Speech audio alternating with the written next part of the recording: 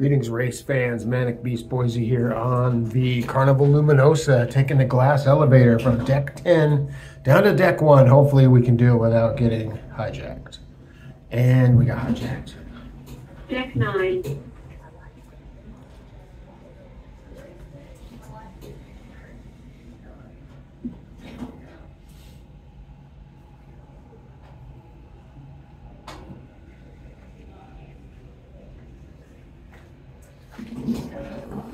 Deck 6.